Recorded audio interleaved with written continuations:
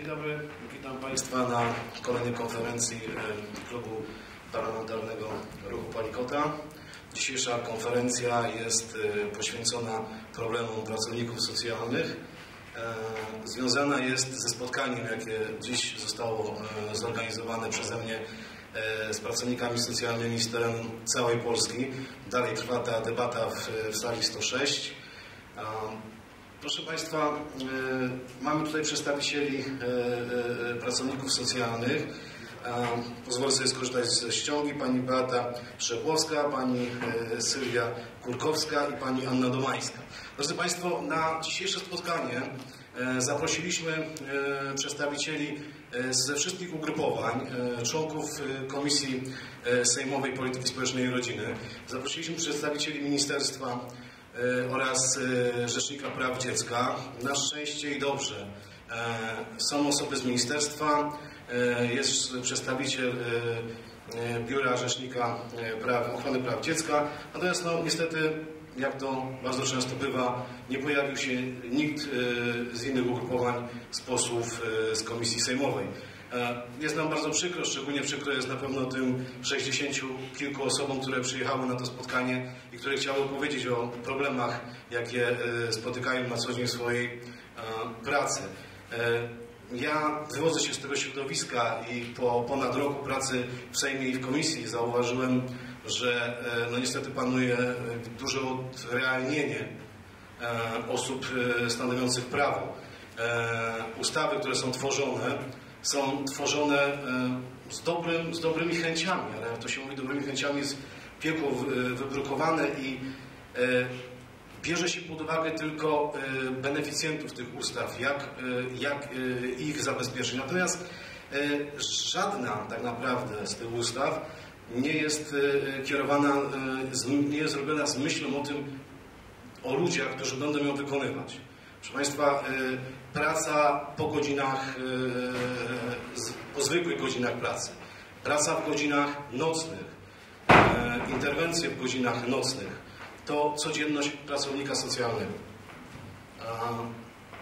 Człowiek, który pracuje 16 godzin dziennie, e, ja już pomijam kwestię zaniedbania rodziny, ale człowiek, który pracuje 16 godzin dziennie, chociażby był naprawdę najbardziej doświadczonym pracownikiem i najlepiej wykształconym, kiedyś popełni błąd.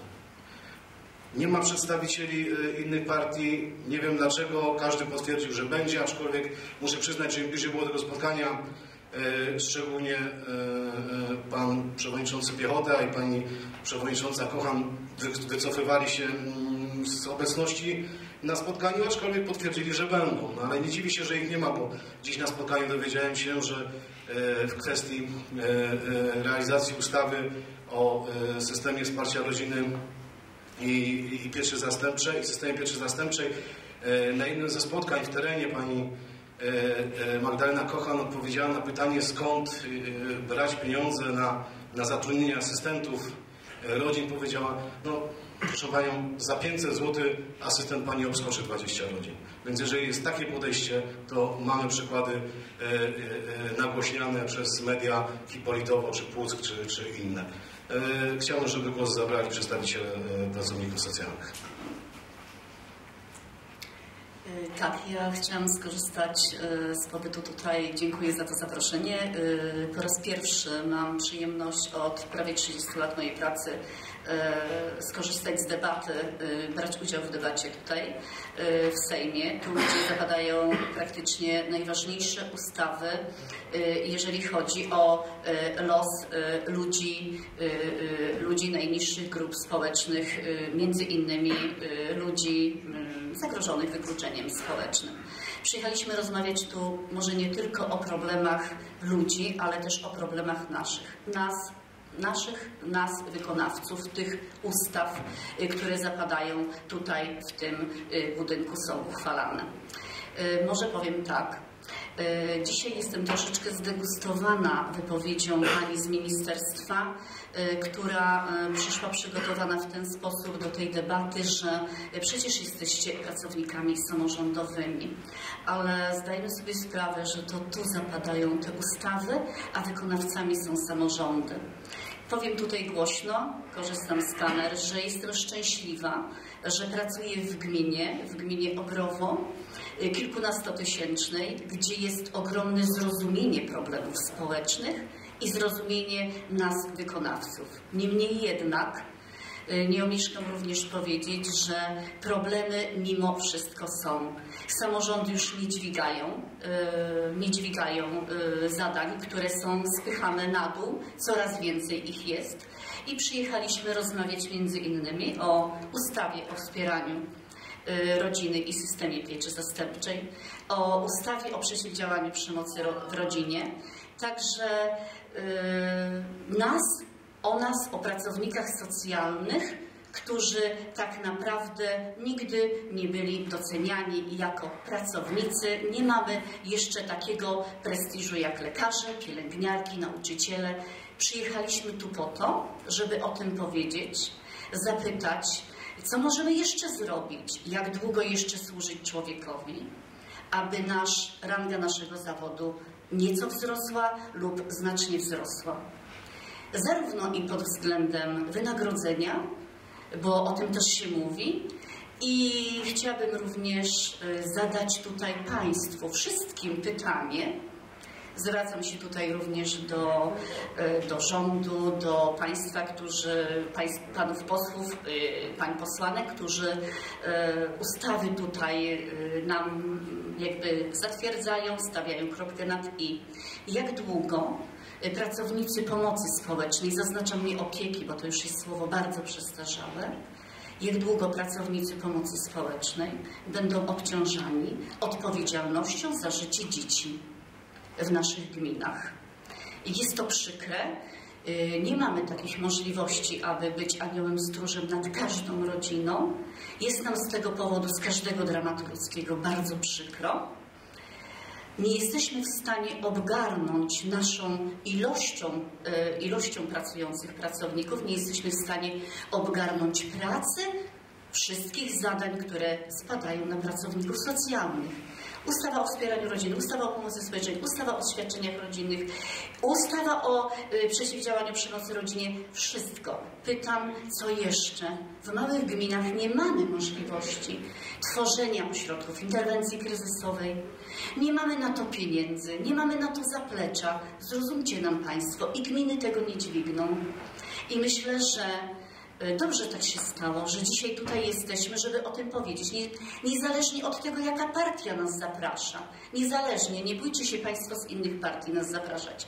My naprawdę przyjedziemy bardzo chętnie i o tych problemach powiemy. Chciałam się dołączyć do wypowiedzi tutaj koleżanki. Jestem też z małego ośrodka.